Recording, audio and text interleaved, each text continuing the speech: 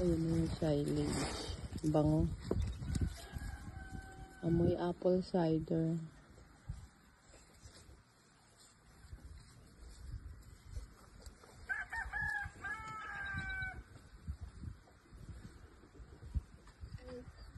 Hmm. May makukulit.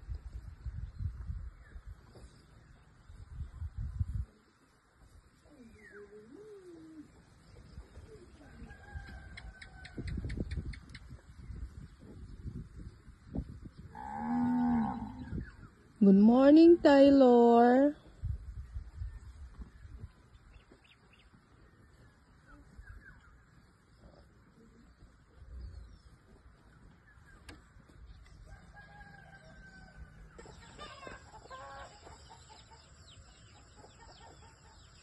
Ito na pong update sa Napier.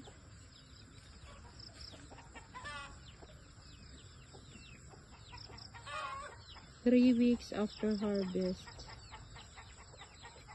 Oh. Kaya inalagaan lang yan sa dilig. No fertilizer added. So after 8 weeks or 2 months, pagkatapos ng last harvest, harvest ulit. Gagawin ulit ng silage. Yung silage, napakalaking pakinabang po sa panahon ngayon. Kasi, gaya ng nakikita nyo sa mga pictures ko doon sa place ng aming mga baka. Wala na, tuyo ng mga damo. So, ito ang kanilang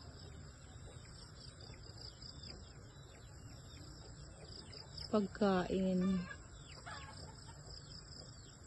Sinasilage namin or binuburo. Napier silage. Ang silage po, pwede ring mais. Pwedeng napier.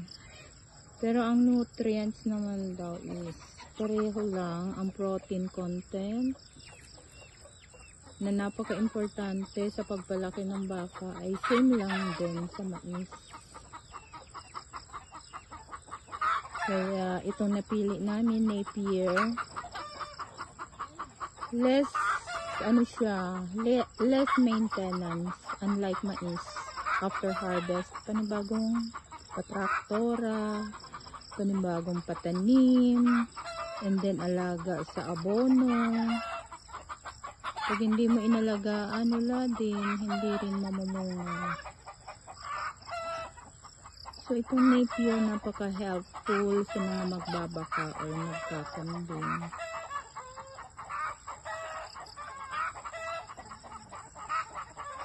Ang tinatagal pa ng buhay nila after nung itanim is 5 years.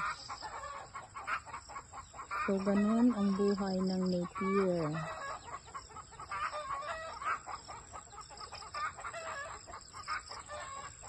Ganda na oh. Lago. Hmm? Laga lang sa dilig. Kasi kung makikita yung lupa, talagang biak-biak. Super dry.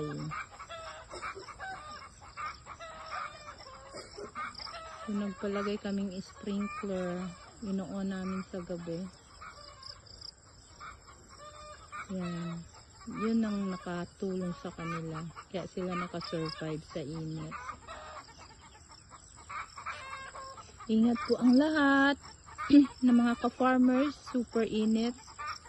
Iwas po tayo sa heat stroke. Mag-rehydrate. Baon lagi ng tubig. Inom ng tubig lagi. Huwag tiisin ng init. Pahinga pag kinakailangan.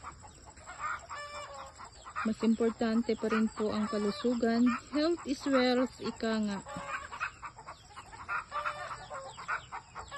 Yan. Hmm.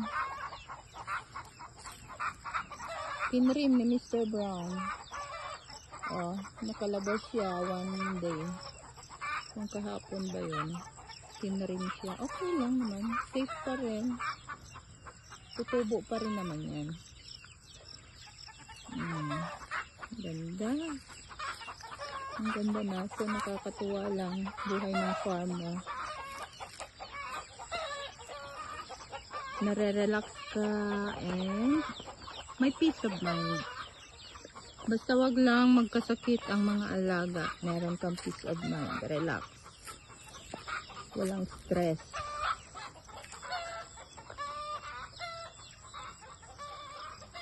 Yun lang po ang maisi-share ko update na itong Napier 3 weeks after harvest. Thank you po sa inyong lahat mga ka-farmers.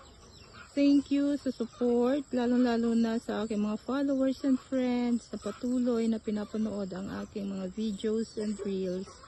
Thank you so much.